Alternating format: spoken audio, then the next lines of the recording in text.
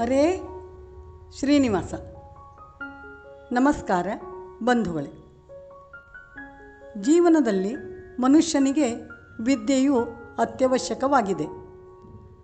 ನಾವು ವಿದ್ಯೆಯನ್ನು ಪಡೆಯಬೇಕೆಂದರೆ ಸರಸ್ವತಿಯ ಆರಾಧನೆಯನ್ನು ಅವಶ್ಯವಾಗಿ ಮಾಡಬೇಕು. ಸರಸ್ವತಿಯು ವಿದ್ಯಾದೇವತೆಯಾಗಿದ್ದಾಳೆ.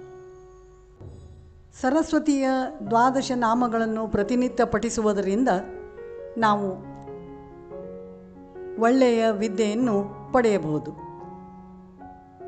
ಈ ಸರಸ್ವತಿಯ ದ್ವಾದಶ ನಾಮಗಳನ್ನು ಪ್ರತಿನಿತ್ಯ ವಿಶೇಷವಾಗಿ ನವರಾತ್ರಿಯಲ್ಲಿ ಈ ನಾಮಗಳನ್ನು ಅವಶ್ಯವಾಗಿ ಪಠಿಸಬೇಕು. ಇದರಿಂದ ನಮಗೆ ಒಳ್ಳೆಯ ವಿದ್ಯೆಯು ಪ್ರಾಪ್ತಿಯಾಗುತ್ತದೆ. ಈಗ ಸರಸ್ವತಿಯ ದ್ವಾದಶ ನಾಮಗಳನ್ನು ನೋಡೋಣ ಸರಸ್ವತಿ ತ್ವಯಂ ದೃಷ್ಟ್ವಾ ವೀಣಾ ಪುಸ್ತಕಧಾರಿಣಿ ಹಂಸವಾಹನ ಸಮಾಯುಕ್ತ ವಿದ್ಯಾದಾನಕರೀ ಮಮ ಪ್ರಥಮಂ ಭಾರತೀ ನಾಮ द्वितीयं च सरस्वती तृतीयं शारदा देवी चतुर्थं हंसवाहना पञ्चमं जगति ख्यातं षष्ठं वागीश्वरी तथा कौमारी सप्तमं प्रोक्तम् अष्टमं ब्रह्मचारिणी नवमं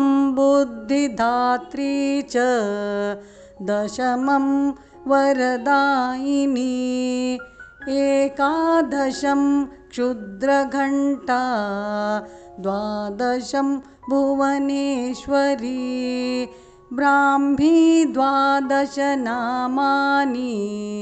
त्रिसन्ध्यं यः पठेन्नरः सर्वसिद्धिकरी तस्य प्रसन्ना परमेश्वरी सा मे वसतु जिह्वाग्रे ब्रह्मरूपा सरस्वती ಸರಸ್ವತಿ ದ್ವಾದಶನಾಮ ಸಂಪೂರ್ಣ ಸರಸ್ವತಿಯ ಅನುಗ್ರಹವನ್ನು ಪಡೆಯಲು ಸರಸ್ವತಿಯ ದ್ವಾದಶ ನಾಮಗಳನ್ನು ನಾವು ಪ್ರತಿನಿತ್ಯ ಪಠಿಸಬೇಕು.